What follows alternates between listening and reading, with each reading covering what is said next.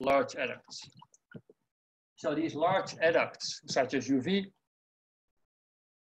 they distort the DNA helix structure, and that is flagged by, uh, oh no, that's not true, sorry. TCNER, that's for GGNER. Uh, TCNER removes these adducts when these adducts are encountered during transcription. So if a DNA strand is used for the synthesis of messenger RNA or other RNA, um, and then it is uh, it removes the adduct. So adducts that are on the strand, DNA strand that is used as template for transcription are removed. As a result, we see way less mutations of uh, on, on uh, resulting from adducts on the transcribed strand. And we see that back in the signature. So if we look, for example, at the mutation signature of UV, signature 7, we see that UV adducts cytosines.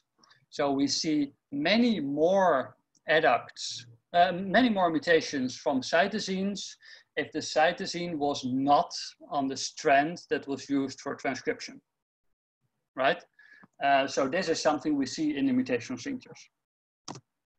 So to go uh, one step up again, so mutational signatures are used for a couple of purposes, right? So uh, we use them for prevention and screening, uh, to figure out what happened in the life of the cancer, so what caused the cancer, and also to study DNA damage and repair.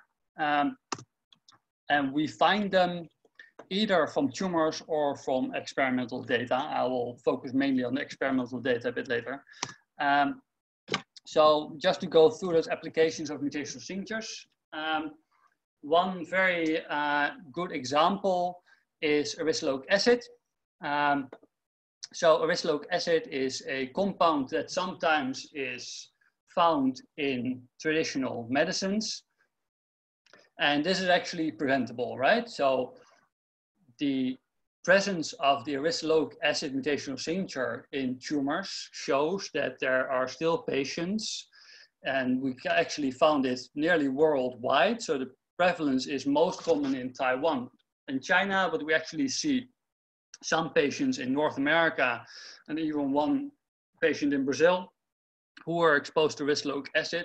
So this shows that there are still people getting exposed to uracilolic acid. So this knowledge can inform people that they shouldn't be eating this or should be hard, working harder to avoid it. Another example is colibactin. So colibactin is a compound produced by bacteria producing, uh, carrying the PKS gene island. And this colibactin mutagenesis has mainly been observed in the colon, but we also recently reported it in an oral squamous cell carcinoma right? Um, this was in a patient who presented with a very strong bacterial infection in the mouth. And in hindsight, right, if this patient had practiced better oral hygiene, in other words, brushed their teeth a bit better, it is very likely that this cancer could have been preventable. Uh, another application of mutation signature is to figure out what happened during the life of this tumor. Um, examples, right? So we are, have a few examples of mutations which are strongly associated with certain mutagenic processes. Um, human liver tumors that have been exposed to aflatoxin B1 are strongly enriched for a very, specific P53 mutation, P53R249S. Uh, tumors exposed, uh, tumors with uh, MAT2H deficiency uh, have specific KRAS mutations, and the third promoter mutation that you might have heard of is actually a perfect fit for the main mutation type associated with UV exposure. And this TERT mutation is also extremely prevalent in melanomas. Um, uh, besides that, mutation signatures can also shed light on how DNA damage and repair function. Uh, there was a very recent paper by Nadezhda Volkova um, showing that if you mess with DNA repair, you actually affect the mutation signature. Uh, there's a plot from her paper here. So she has cells which she exposes to EMS, which is a, a highly mutagenic agent. And she has wild type cells and cells that are um, deficient for polymerase kappa.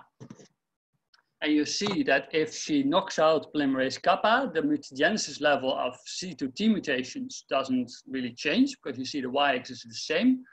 Um, but suddenly there are adducts on, uh, there are mutations from T2A and T2C. That suggests that the EMS adduct, right, is somehow cleared up by uh, polymerase, uh, by, by, polymerase kappa in the wild type cells, but the mutations persist in the pol kappa negative cells, right?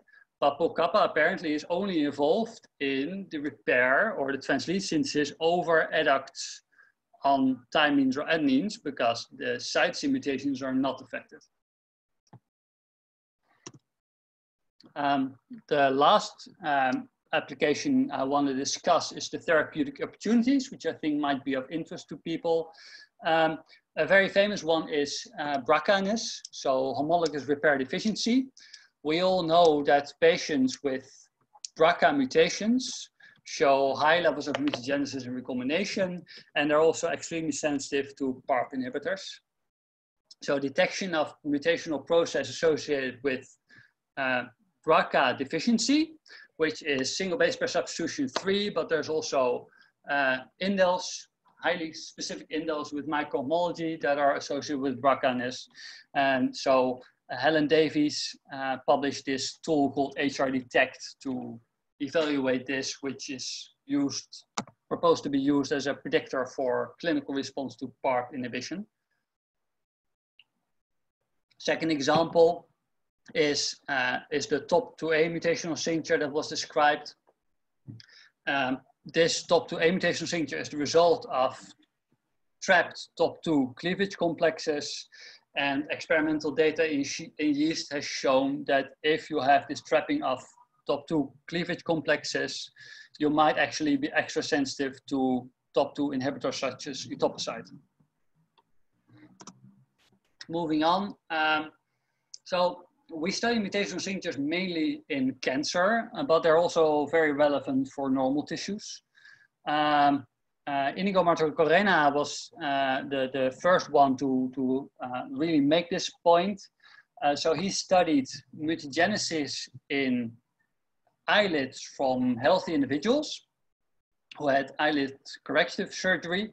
And he took these eyelids and he punched out very small sections and he sequenced those. And what he found is that this mutagenesis, that he found oncogenic mutations in all cells, but no, not in all cells, in most cells. Right, and there's a recent paper by Colomedal uh, who showed that mutagenesis is very common in normal cells, and you have this clonal selection, but these clones, they keep each other in check, right? So they all stay roughly the same size. So they have this um, uh, a competition for space. Um, but, right, so this, this shows that this mutagenesis in normal cells and only one single thing has to go wrong to get a tumor. Um, the fact that mutagenesis is common in normal cells makes it very interesting for mutational signature research also, because it gives rise to questions, right? So how much mutagenesis can you have before it turns into a tumor? Um, and which mutagenic processes are more or less likely to result in tumor genesis? Um, so, uh, like I said, we were going to talk about experimental delineation of mutational signatures. And the most important reasons to study mutational signatures are, of course, we want to find new mutational signatures. Um, that uh, uh, is, of course, to identify new uh, things that cause cancer so we can tell people not to do that anymore.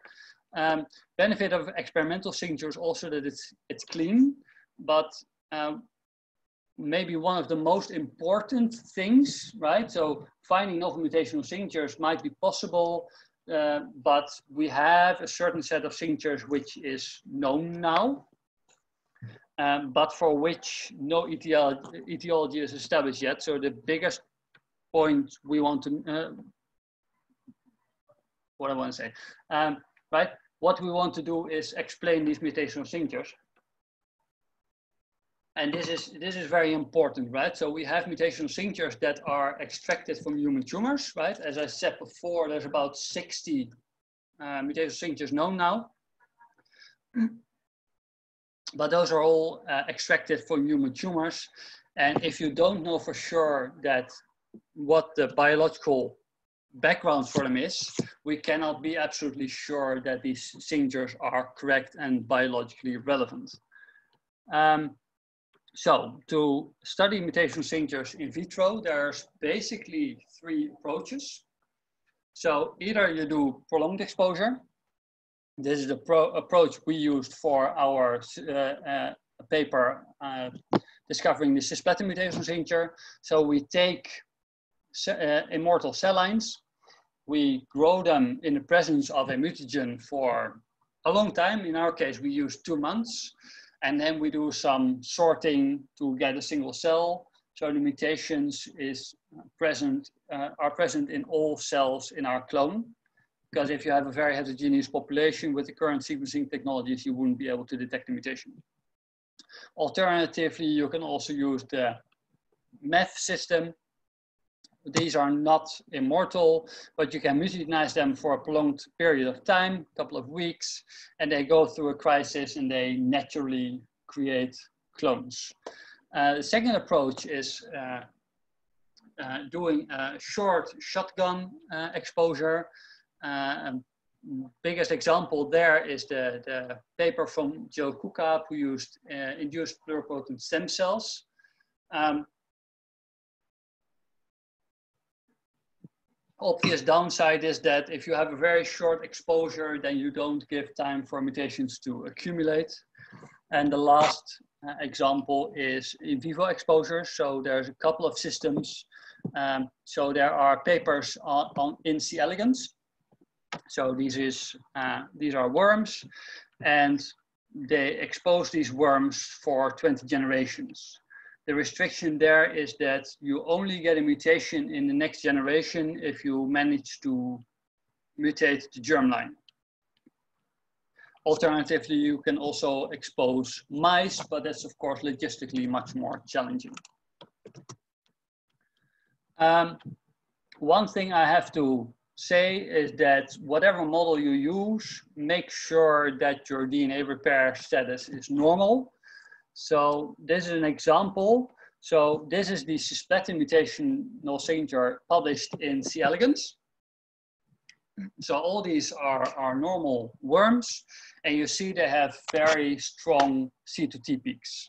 Whereas in the humans, so we used MCF10A, which is a normal ductal epithelial cell line, and HepG2, a hepatoblastoma cell line.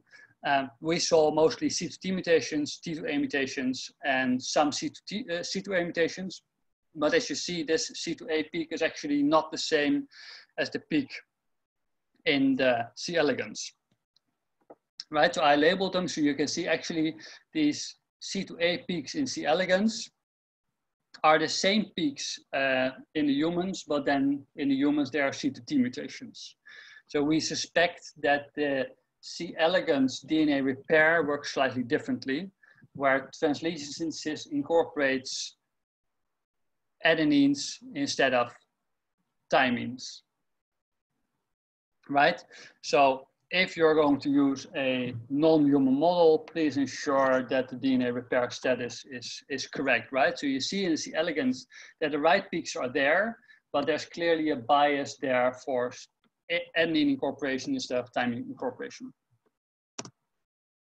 So, of course, right, so I said we do a two month exposure. That means that these cell lines are growing and dividing for two months. So our cell lines have a doubling time of about two days, which means that after two months, we have roughly 50 to 60 populations, uh, population cycles. During every one of those cell divisions, mutations can occur. thus we have a background, right? Similarly, in the short-term exposure of that uh, Jill Kuka did with her iPSCs, which was only a shotgun exposure, one exposure, and after a week she, she did cloning, she still got a background, right? So any experimental system always has a background, and we can't really do NMF on these experimental samples because the numbers are not high enough. So there's a challenge to remove this background. So I took this illustration from the from Jill's paper, right? So there's a challenge with uh, establishing mutational signature background. So Jill has a very stable mutational signature, background mutational signature. Then she has a spectrum in her final samples. And then the challenge is to remove the background mutational pattern from the mutational process she's actually interested in. Interestingly, if you look at the background in different models, so this is the background mutational pattern that Jill found. So you have a fairly low number of mutation, but it's extremely stable. So nearly every one of her clones showed this highly spiky C2A mutation pattern. So this is specific to the iPSCs that she used. On the other hand, in the HepG2 cells and MCF10A cells we use, we get a much more flat uh, background mutational pattern. But you see that also between those two differentiated human cells, you have a different in background, right? So you see, for example, HepG2 has much more C2A background than MCF10A. And MCF10A has more C2, uh, T2C mutations. right? Um, so a complication is, right, how do you determine how much of your spectrum is background? Right, so we have, right, both Jill's paper and our uh, data show there is some variability, but usually the background is fairly stable. So we can try to subtract the background and we will actually be doing that in the practicum to show you how it's done. Um, there is one more complicated issue which is present if you do long-term exposure. Uh, which is that if you see a mutagenesis in one of your exposed clones, which has very high background, or if your mutational signature of interest looks like the background, are you going to be able to differentiate it? So when can you be sure that you're looking at actual mutagenesis and not just high background, right? So conceptually, this is something that we're still struggling with. Um, okay, so back to mutational signatures. Um, mutational signatures are usually displayed a, relative to the human genome abundance. So they are the proportions of every peak in the mutational signature as you would see them if you sequence a whole human genome, right? You have to take into account that the trinucleotides are not evenly distributed over the genome uh, sorry, they are evenly distributed. They're not present in even amounts, right? So if you see in a spectrum, so this is obviously, has never occurred to me, but imagine you have a spectrum where you have a thousand mutations in absolutely every peak. That does not mean that every type of trinucleotide is e equally likely to get mutated as in this tumor. Because if you convert to the mutations per million trinucleotides that are mutated, you see these strong peaks coming up. These are CPG sites. So CPGs are strongly depleted in the human genome. And as a result, right, if you sequence a human genome and you get a very low peak of CPGs, that doesn't mean CPGs don't get mutated, it just means there's less CPGs to measure, right? So this is, of course, a, a, very extreme example, which is not really biologically plausible, but this is very important if you analyze whole exome sequencing data. So uh, the human and the mouse exome also is relative to human genome, strongly enriched for CPGs. So if you compare exome data to human data and you don't take into account trinucleotide abundance, you will see a lot of CPG mutations in the exomes compared to the genomes. Yes, that's what I just said.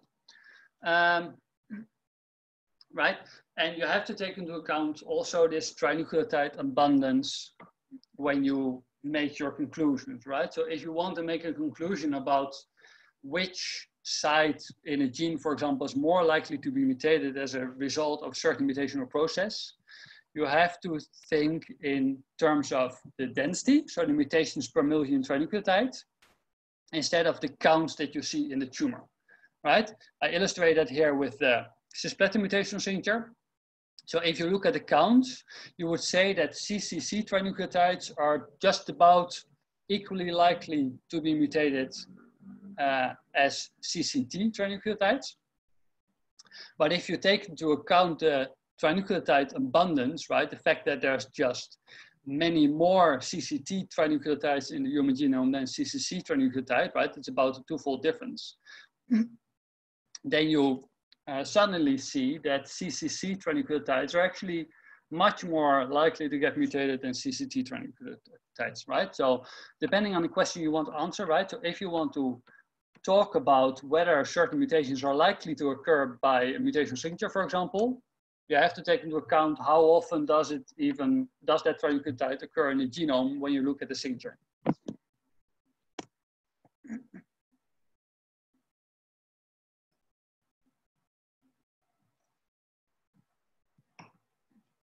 right? Um, so, um, just some conceptual questions uh, when you do experiments, right? So, experiments, uh, of course, we need to model biology, but uh, we're of course limited by the experimental models, right?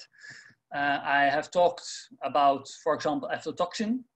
Aflatoxin, as you find it, as, as it is excreted by fungi, is not is not reactive right? It is inert. It will not edit to your DNA unless it gets metabolized by the cell. That means that if you use a cell line model which does not express the enzymes required for this, you will not get mutations, of course, right? Uh, the second thing that an experiment generally does not model is the tis tissue distribution, right? Um, if you eat aflatoxin, right? It has a certain route through the body, right? So we use, for example, MCF10A cells, which are normal breast ductal epithelium. And we can, of course, expose them to aflatoxin and we can make sure they metabolize it. But that doesn't mean that you should expect those mutations in normal breast tissue because in, if you eat it, it doesn't go near your breast cells, right? Um, mutagenesis sometimes needs a push, right? Aflatoxin is known to mutate liver cells, and this is true, but these mutations can only occur if the liver cells are actually dividing. Because in normal healthy adults, liver cells are dormant. They sit there and do their job, but they don't really divide very much.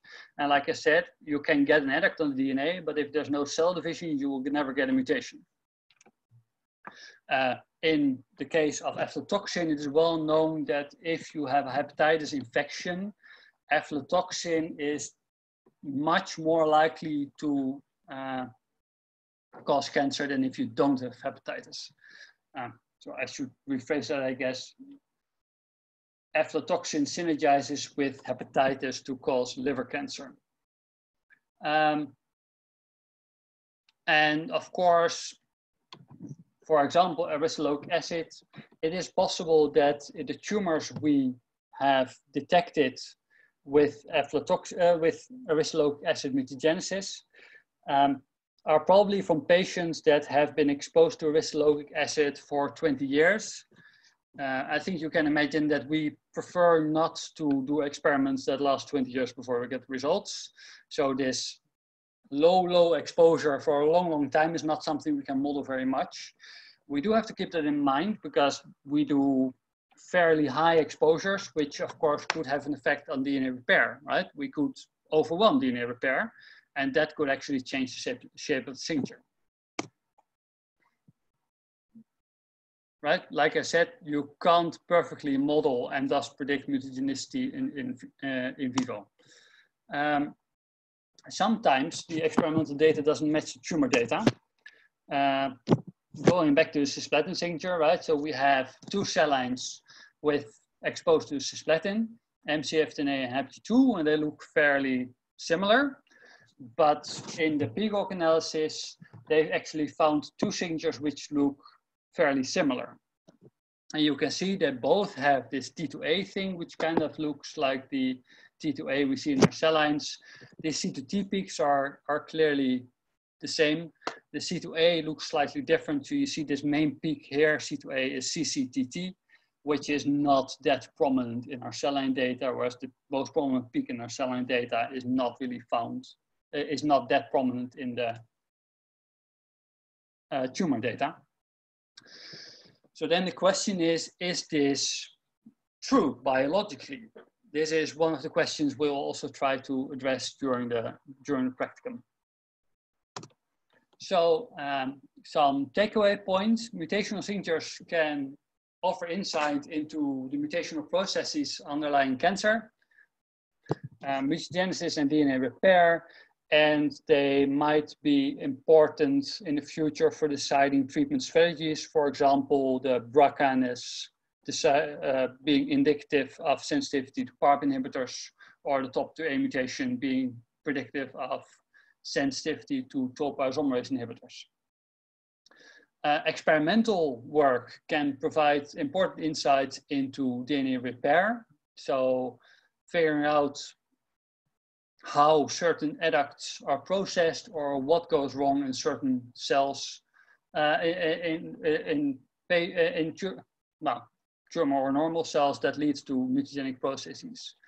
Um, important thing is that will also come, uh, uh, I'm, I'm, sure Steve will mention this also, but it's important that we make sure that the results we get are biologically plausible, right? We can make a signature that consists of 96, uh, we can make 96 signatures consisting of a single peak and get perfect reconstruction of patient tumors.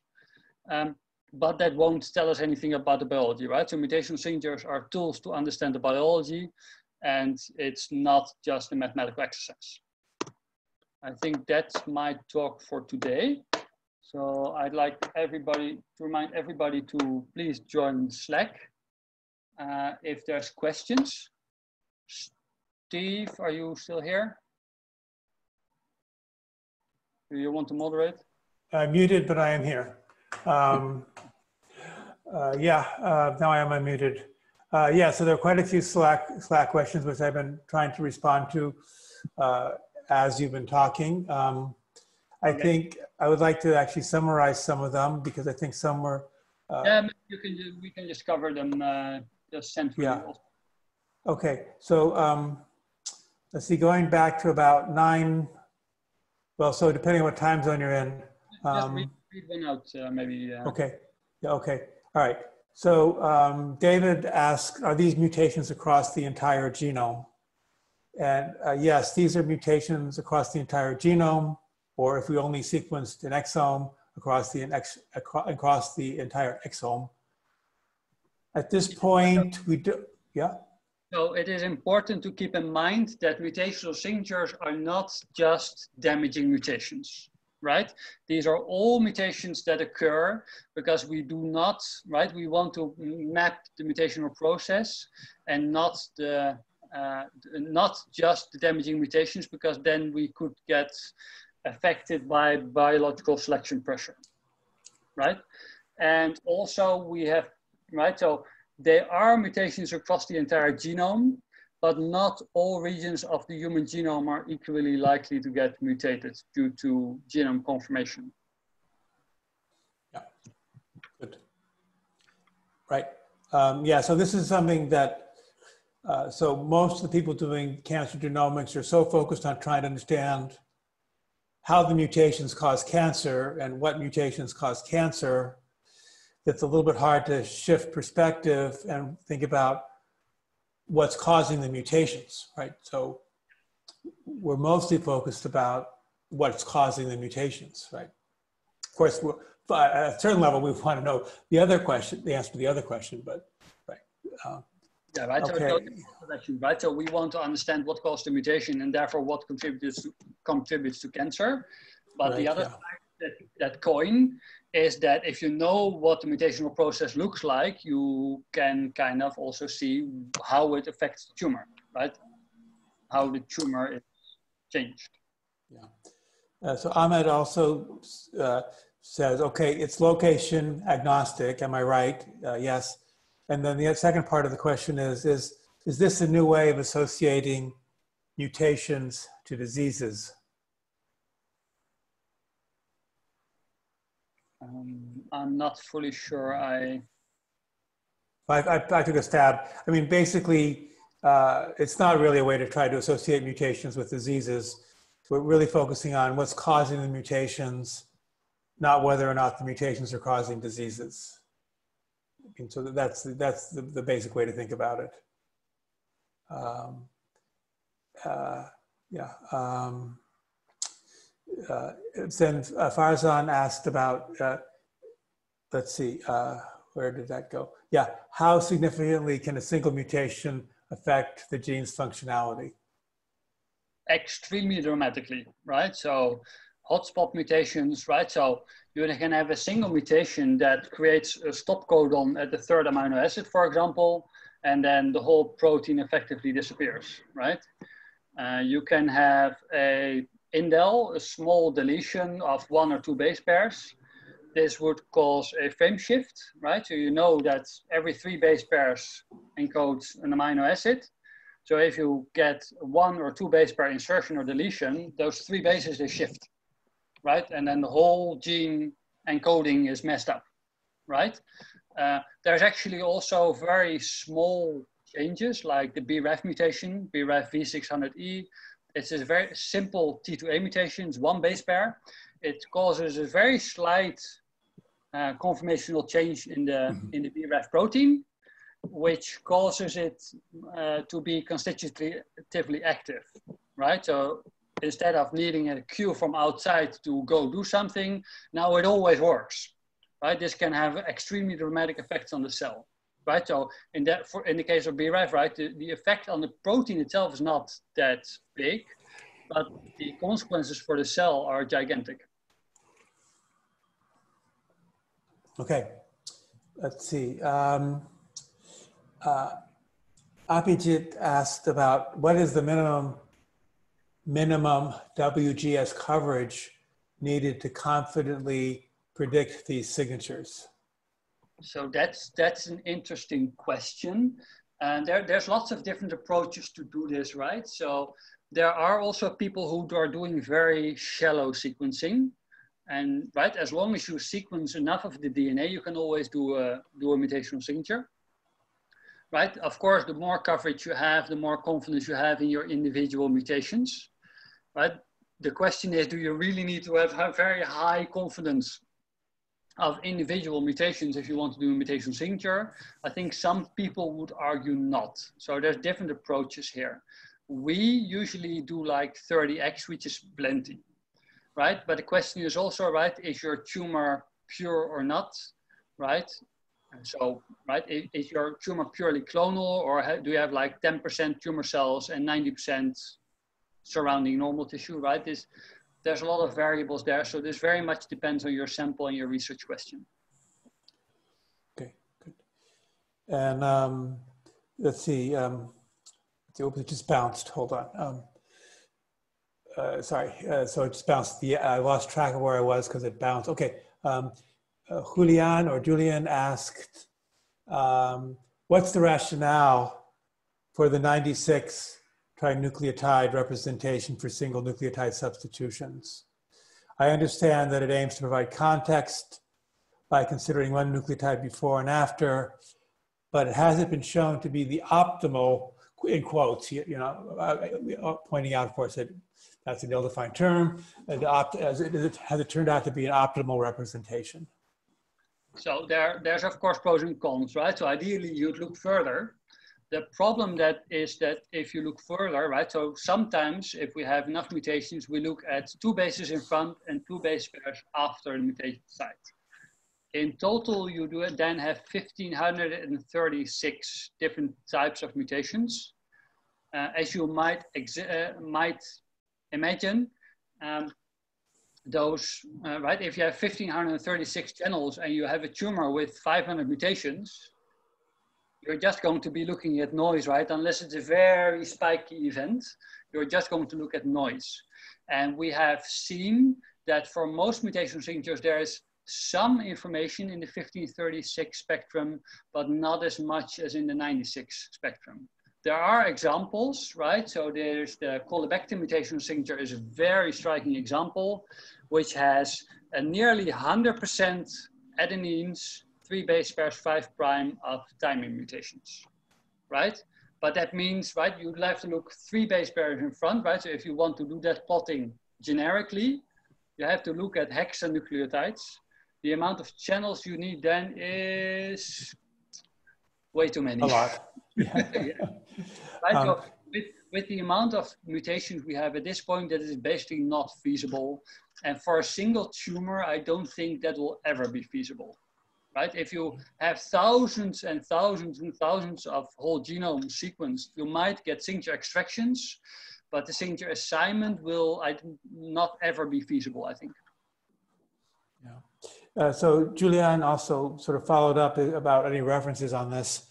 Um, I don't know if anybody's really, it's more sort of the field has looked at, so certainly the Alexandrov paper that we worked on we looked at 1536 and everything and concluded that it didn't add enough in most situations to make it worthwhile looking at for all the reasons that, that you discussed. I don't think there's any reference uh, that actually uh, has, has looked at this qu question and really has actually uh, posed the question, but we certainly in the PCAWG paper, the Alexandrov 2020 paper, looked at everything in 1536 included and concluded that it didn't provide enough information to to make it justifiable and to make it worthwhile in most cases. Very, very often it just doesn't add more information, so then it's yeah. easier to stay with 96. Also because you yeah. you just get more, you, you have essentially less noise, right? It's more stable. Yeah. Um, okay, let's see. Um, so David uh, sent a question about are these single base substitutions? And I think I responded that they're single base pair substitutions in the context of the preceding and following bases. I think uh, we can.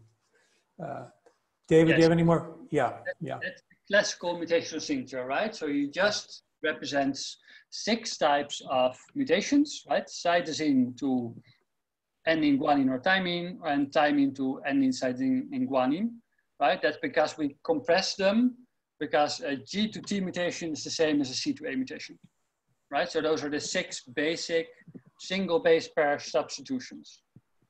And we plot them in trinucleotide context, so one base pair in front and one base pair after. Uh, then another question from Denise is, what is the relationship between mutational signatures and the driver slash passenger mutations talked about in cancer genomics? I would say that they are fairly unrelated. So, like we said, mutational signatures are all the mutations in the in the genome that we detect, um, and so they're also intergenic. They're in in gene deserts. They are silent mutations that don't affect proteins, right? So these are nearly all passengers, 99.99%. So mutation signatures themselves are not really a mechanism to study drivers. But like I said, there are known driver genes which associate with certain mutagenic processes. Yeah. So allow me, another... allow me to say allow me to say that uh, from the point of view of driver discovery, it's it's important to be aware of the of the background mutagenesis. Yeah and um, from from that perspective, it's uh, it may be relevant uh, because we want to get rid of um, signals that come about just by chance, and we want to capture positive selection. So, as as regards uh, correctly elucidating um, uh, background mutagenesis in the sense of uh, what is the uh, what is the mutagenesis present in the in the normal cells of the tissue, uh, it is relevant. Okay, thank you. Okay, that's very good. Yeah, so this is mostly upstream of identifying drivers, right? So this ties into the theme that we're, we want to know what damages the, our, our main focus is what's damaging the DNA. Most of the damaged DNA is not driving, okay? Mm -hmm. But to, sometimes to identify drivers, it's very useful to know what kind of mutations are occurring because to understand if, uh, so basically finding a, a, cancer driver gene is really easy, right? All you have to do is find a gene at a site that's mutated above what you would expect by chance, right? The problem is defining what you would expect by chance, right? And so we have to understand the mutational signatures to be able to define what you would expect by chance, right? And that's that's not so easy, right? Um, I'll try to respond in the in the thread in, in a little bit, um, a little bit more fully uh, to summarize our conversation. Um, Doris uh, asked about um, in the indel signatures, up to which length are plus five base pair indels monitored? So I think it's a question about the, the, the variant callers. Yeah. Uh, they, they call small insertions and deletions up to 50 base pairs, right? So these are events that can still be detected based on the short sequencing that nearly everyone does, right? So this is a technical thing, right? If you have a 200 base pair event, then with 100, 100 or 150 base pair sequencing reads it's very difficult to detect those unless you go to like overlapping reads with the, the breakpoints and stuff, right? So then you get, need completely different algorithms. So these small insertions and deletions are generally up to 50 base pairs. Okay, uh, then, um, okay, uh, Sachendra asked, um, Okay, could please explain again background mutations and trinucleotide abundance? Um, those are two unrelated things. Uh, Chatendra, do you want to clarify or? Yeah, can you please just give a little bit more detail what your, what's unclear? I was, yeah, Sachendra. Yes. So I was asking, uh, is background mutations are those mutations which occurred in the normal cells, or it's something different? I missed the point actually. Okay. So, so what the, is background?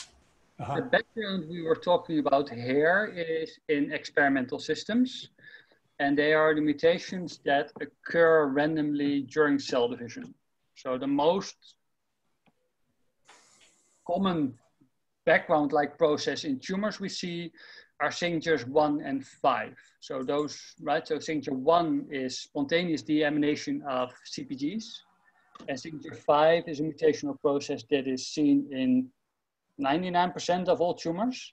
So this, these reflect processes which are ongoing in basically every cell.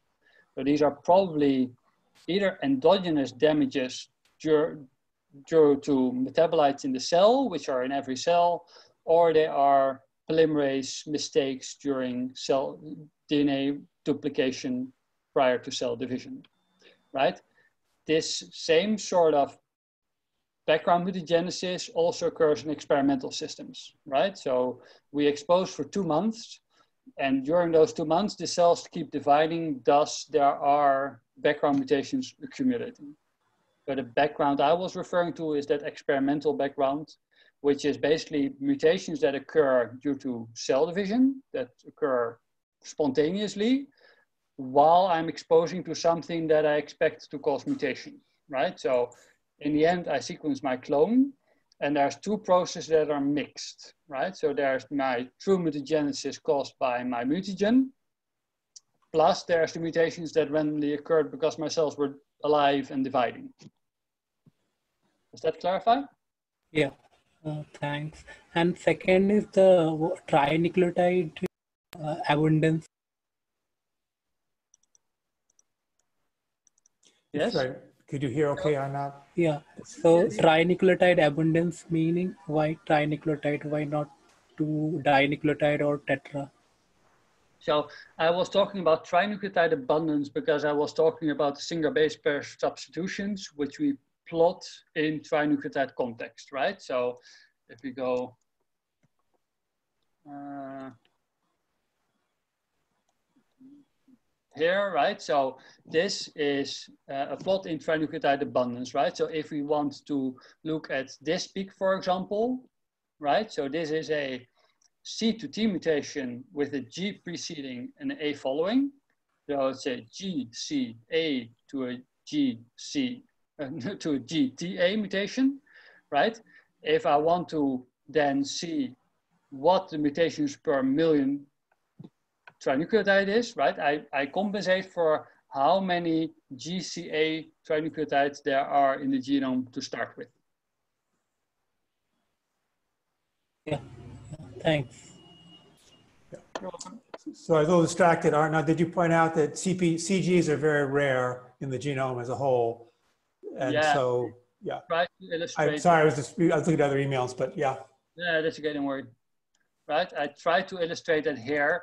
Uh, more clear maybe here. So here I didn't point out the CPGs, right? So here I focused on the fact that CCC trinucleotides are less abundant than CCT trinucleotides. So if you look in mutations per million, so in density space, you see that CCCs are much more likely to be mutated than CCTs. But at the same time, right, in between, right, this is a CCG to CTG mutation. So this is in a CPG, right? So it's CCG. And you can see if you look at density, right, in the count plot, it looks that like CCG to CTG mutations are fairly rare. But if you take into account that CPGs are so rare in the genome, you actually see that they're relatively common. It's actually the third most common C to T mutation, right? Which you wouldn't see here, but here you see that they're very common. Okay. Um, so I have a question. Um, uh, actually, Ferran, could you take a look in the uh, Slack and make sure that when I'm replying to people, like I replied to Doris Chen a minute ago, could you make sure that reply is visible to you? I see a reply to Doris Chen. Okay, that's good. Yeah. Okay. Just wanted to make sure it wasn't going to some private channel. Okay. Uh, um, okay. Then Denise asked, um, how do you capture the mutational signatures of non-coding mutations which only affect gene expression or promoter methylation? What does a mutational process mean in this case?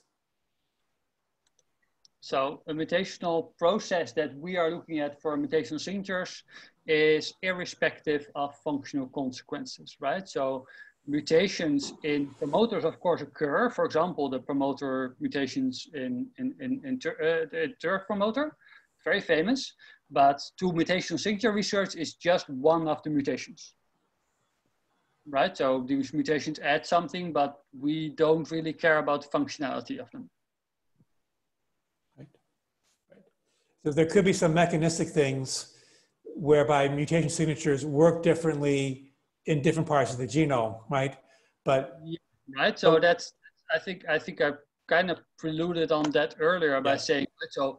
The, we look at mutations of the whole genome, but not the entire genome is mutated evenly. This yeah, that's right. Yeah. concomitant conformation and all sorts of complicated things. Uh, I think Ferran will actually cover that. Mhm, Uh, yes, so right. we will look at the genomic landscape. Right. So we will Right. probably But I, I think the point is we don't care if a, for signature analysis at this point, we don't care if the mutation affects gene expression. yes. We don't affect, care if it affects the amino acid sequence. Um, uh, we don't care if it affects promoter methylation. We really, we, you know, we only care about, uh, so just to make it very black and white, over oversimplify it a bit, we only care about what damaged the, DNA. We don't care about what the damaged DNA does to the cell, right? That's a, to overstate the case a bit, but uh, yeah. Uh, uh, Abhijit asked, are, are these signature also include SNPs? Um, so the, the, definition of a SNP is a single nucleotide polymorphism, which means it is a variant that occurs in 1% of the population or more, right? Uh, there are databases full of SNPs like dbSNP, uh, and there's like the EXAC and the thousand genomes, right? So they map common variants in the human genome. We actually use those as filters to remove them, right? So we want to be sure that the mutations that we look at are somatic mutations. So they are mutations that are not germline and that occurred only during the process of tumor formation or before that, right? So that's also fine. So we actually actively remove SNPs because we don't want what we call germline leakage in our signal. Yeah, okay. Um, let's see. Uh, so Julian says counting substitutions across the genome or exome implies that they may occur with equal probability anywhere. Is that reasonable from a biological standpoint? Wouldn't chromatin accessibility change dramatically to the exposed DNA regions? Yes, so this is very true, right? So there are really regions of the genome which are more prone to mutagenesis than other regions, right? This is not, these are not 50-fold differences, but there are clear differences. Um, we also actually, right, we have looked and we have not seen that the mutational signature itself really substantially changes in different regions of the genome. So the mutations that do occur, they, in terms of mutational signature, they still look the same as whether they're in a genome or an exome, for example. Mm -hmm. Uh, Peter, uh, Petar asks if, um, do you always have to sequence DNA from healthy tissue blood if you want to find mutation signature from a single tumor?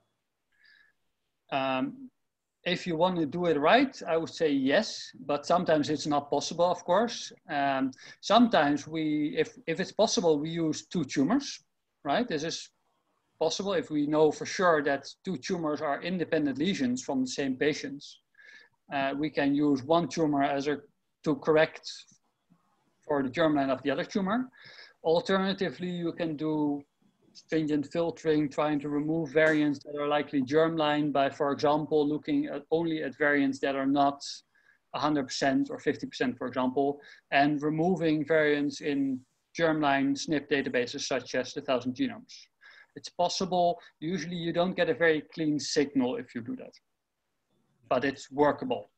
And then, um, so people, two people have chatted into the, uh, um, uh, so Emily, do you mind if I ask your question? I presume you don't mind.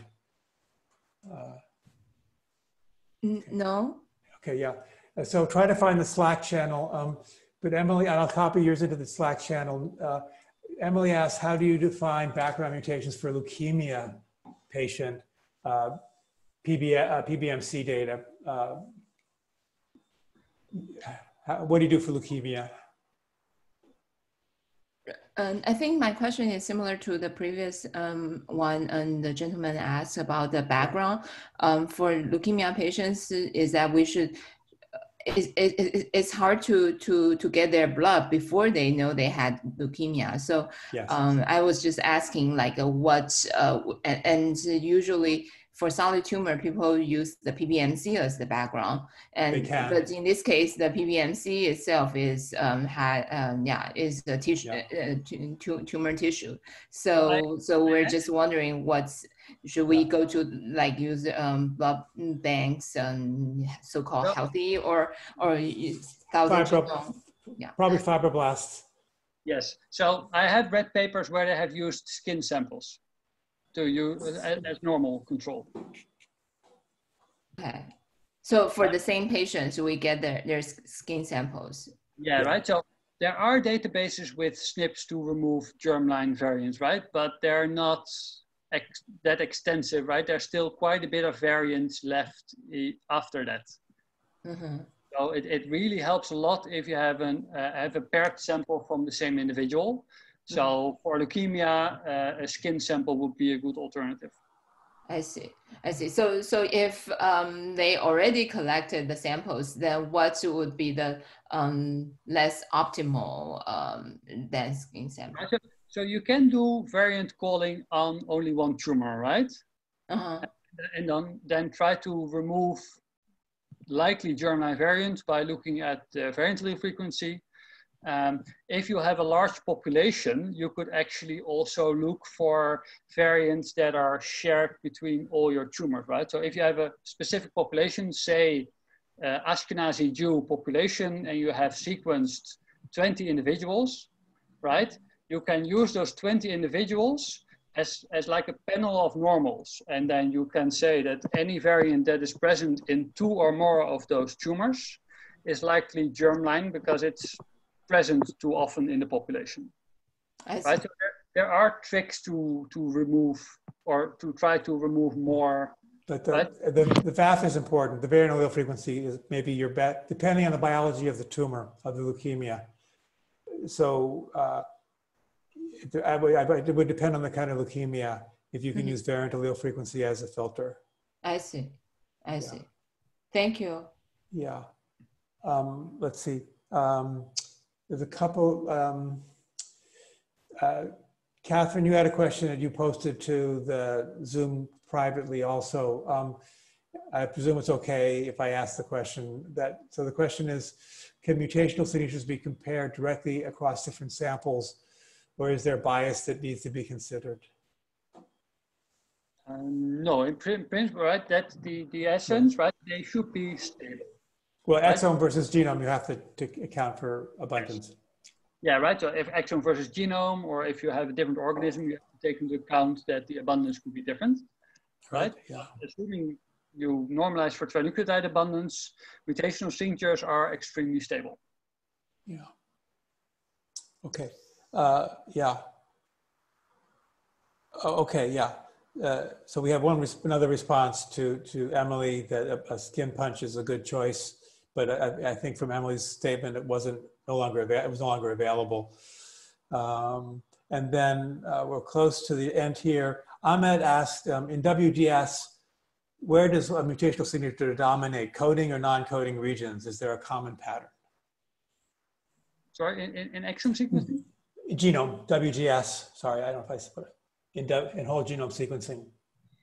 Uh, that is a, it's a landscape question. question. basically, right? I mean, yeah, it is. A, I, I think Ferran will will shed more light on this. Right. Yeah. We'll uh, right. nominate Ferran to uh, cover yeah. it. Deflect the question. Uh, well, usually we see more mutations in in the non-coding uh, non-coding part. So. Um, the short answer to that would be uh, it's it's the non-coding which dominates because it's the it's the it's the part which covers uh, the most part of the genome.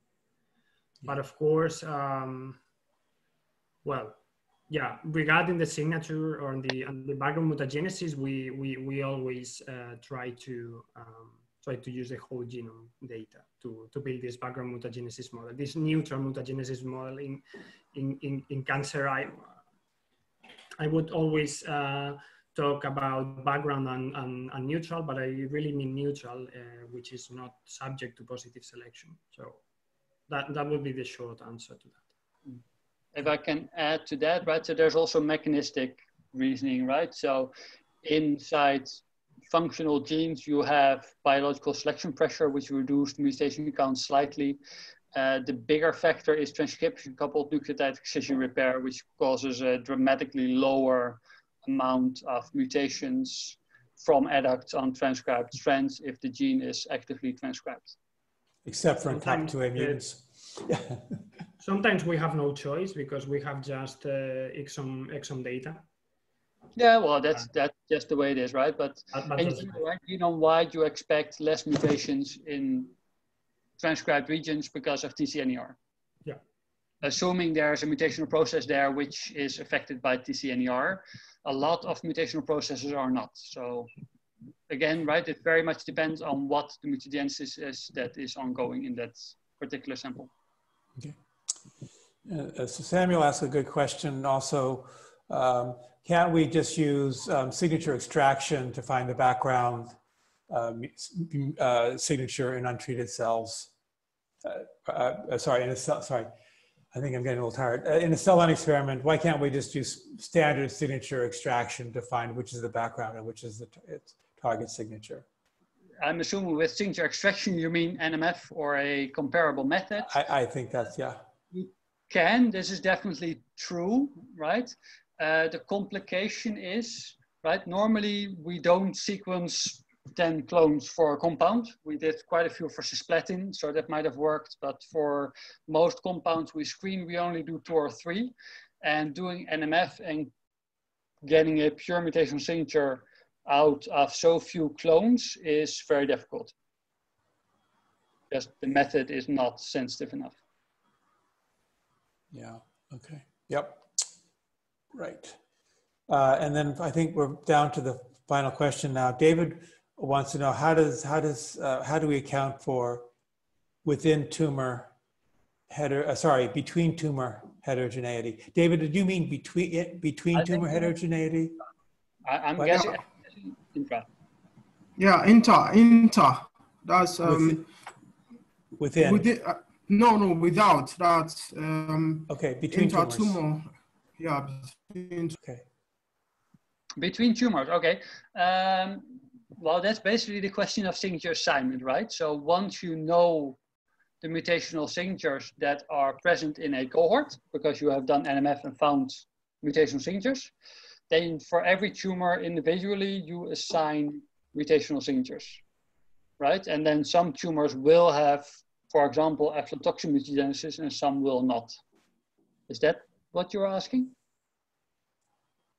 It's a little bit clear because I was trying to look at it from this perspective because um, I, have learned that uh, like within tumor, there are different cells have um, different mutations. So, and if we are, if we use a cell, how do we know that the, the genome for that cell can be representative for the entire tumor population?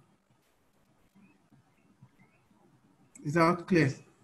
Uh, yeah. I think so. So you might, a tumor is a constant dynamic of cells trying to grow faster than the others, right? As a result, you always have clonal expansions and there will always be mutations which are present in a lot of the tumor cells and there will also always be mutations that are present in a smaller proportion of the tumor cells. Okay. Um, so during signature, right? So the mutational spectrum of a tumor is just the total of all those mutations. But you can try to look at the variant allele frequency of certain mutations assigned to certain mutational processes, and then mm-hmm. try to delineate whether a mutational process occurred in the beginning of tumor genesis, so it's present in most of tumor cells, or at the end, where you see very low variant allele frequency, and it means it's only later in tumor genesis. I so I'd also uh, point out one thing that we don't really sequence single cells, right? We sequence a lot of cells. We don't really have a technology very easily lets us, that very easily lets us sequence single cells. So the standard is we're sequencing quite a lot of cells every time. And so a lot of the heterogeneity is averaged out. And the only okay. way we can see it is by the variant allele frequency. So mutations that are only in a few cells will have low variant allele frequency and mutations okay. that are in all the cells will have high variant allele frequency. VAF. VAF, right. Okay. That's right, yeah. Uh, so uh, we're out of questions, I think. Uh, well, okay, yes, I think we're out. Yeah. Um, so I think we should take a break on out uh, because people will have to leave their computers briefly to get a snack or, uh, yeah. Uh, so shall we uh, say 10 minutes? I don't know. Uh, 10 minutes, I think is good. Sure. Yeah. Okay. And then you'll then you'll present the information on the practicum. Is that? Yes. And we'll set up breakout rooms. Okay. 10 minutes. Okay. See you soon. Okay. See you. Yeah.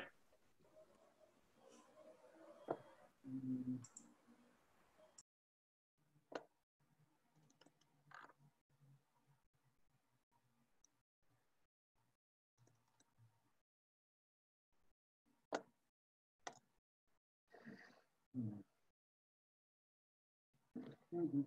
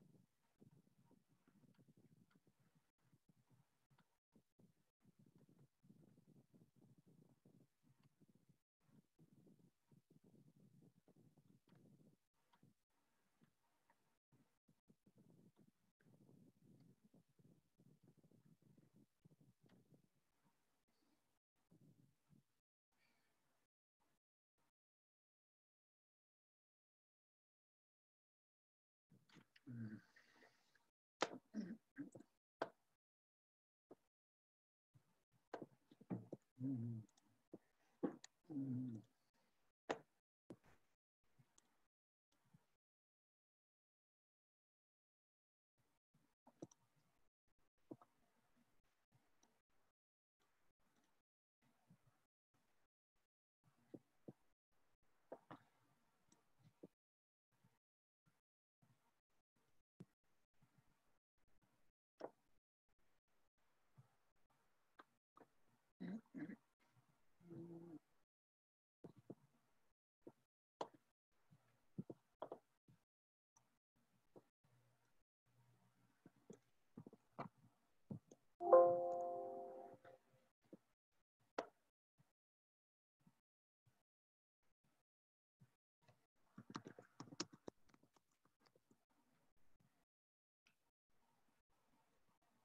嗯嗯。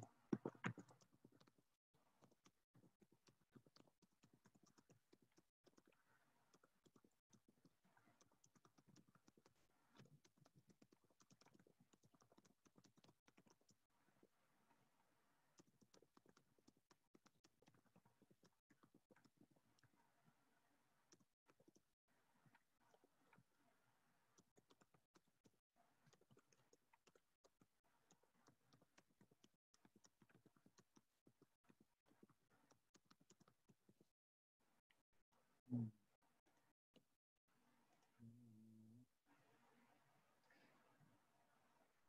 Mm. Mm.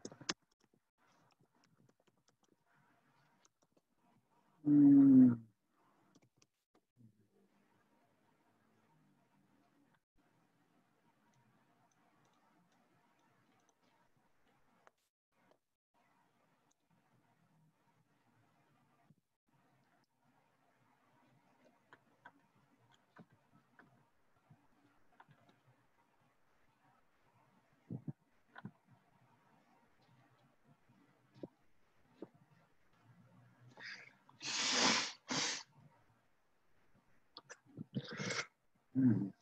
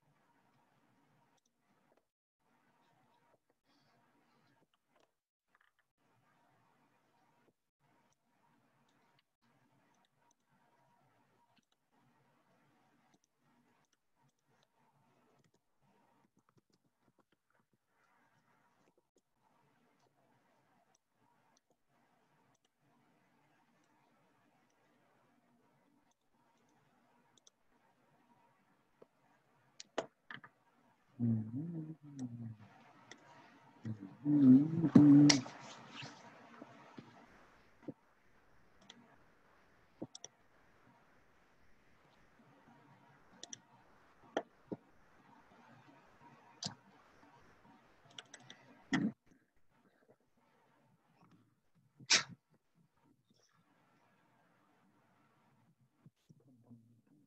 boom.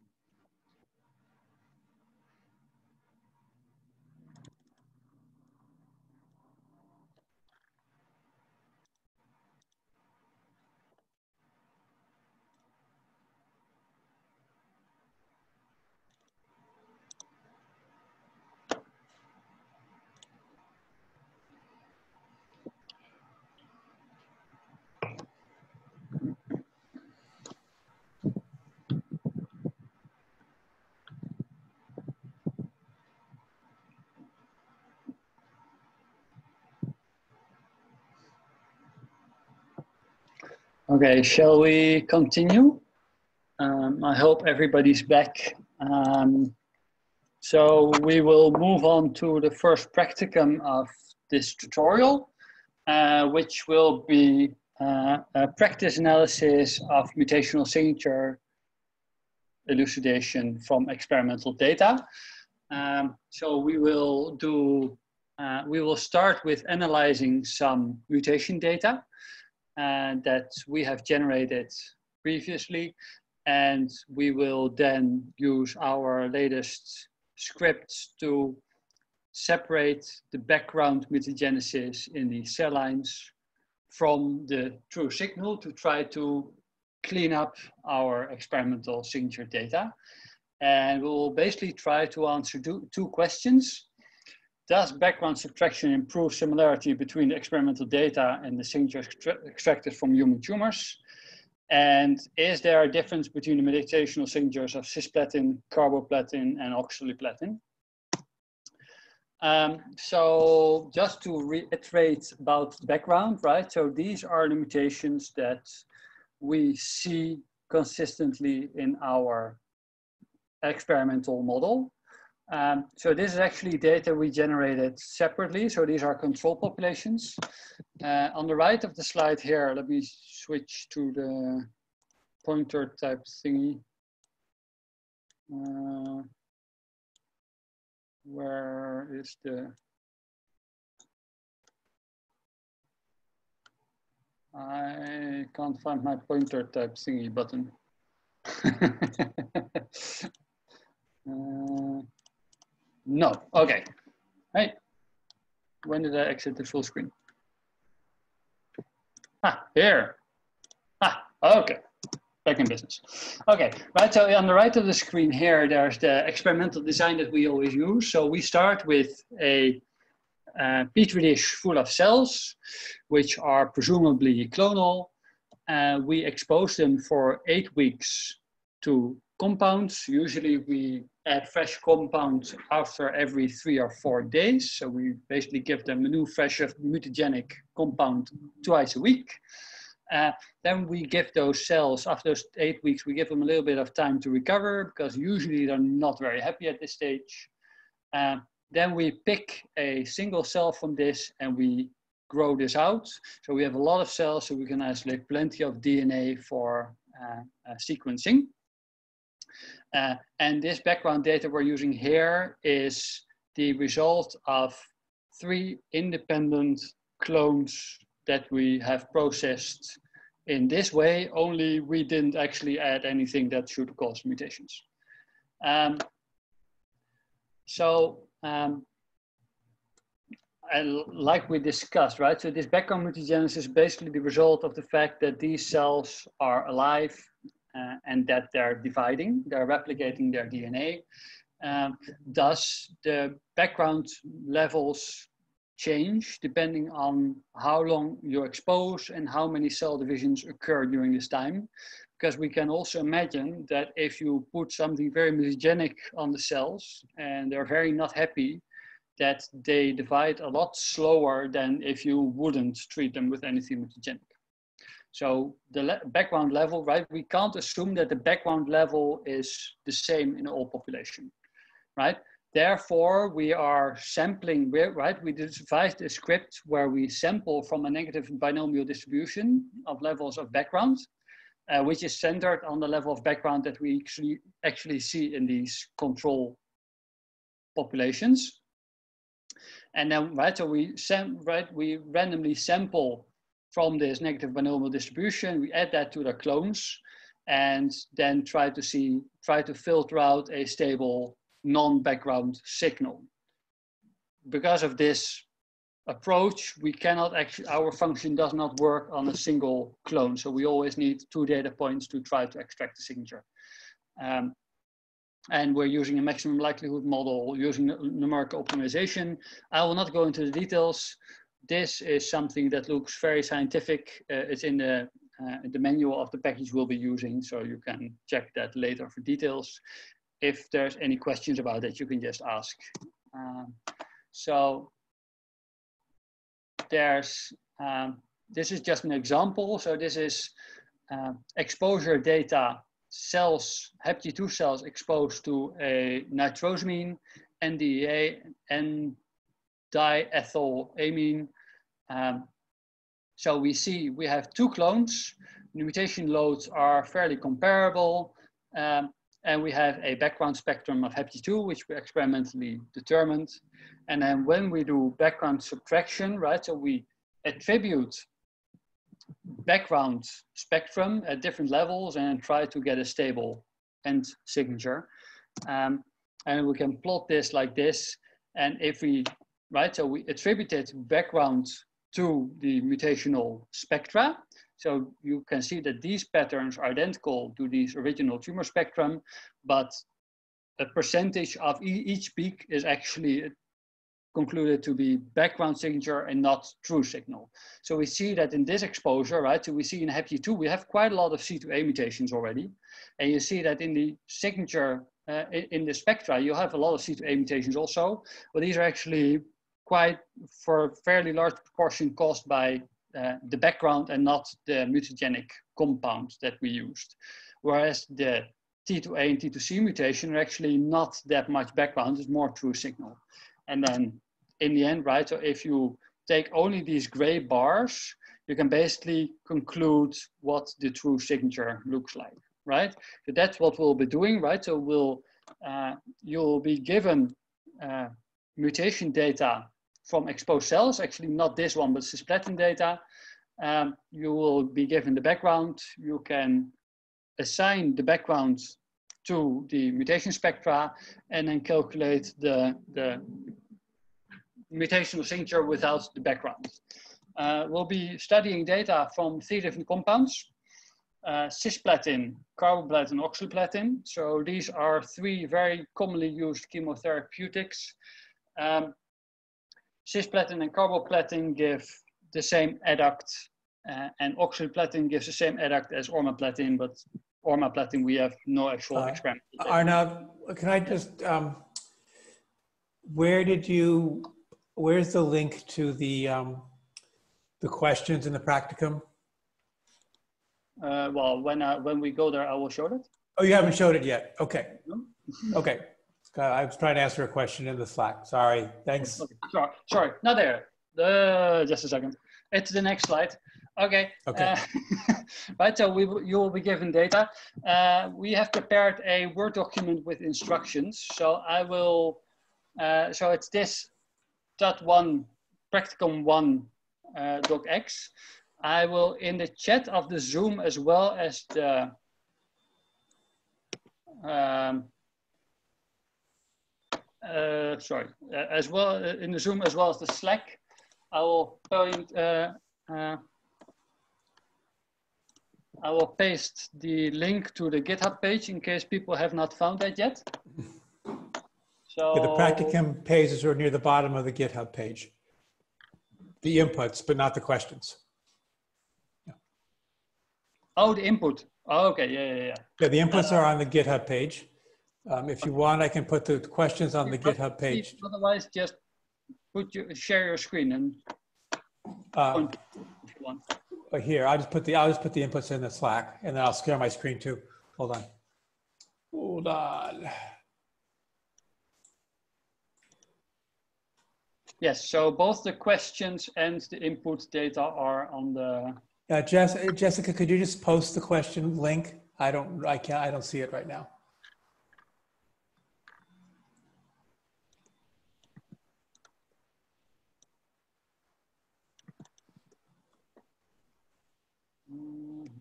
Thank you. Thank you, Jessica. I was already doing it, but we got it, Jeff. Usually the students are better at it than we are. Yeah. Yeah. Okay. It, it's okay, annoying how, how bad computational biologists are with computers. Yes. Okay, sorry to interrupt, but. Uh...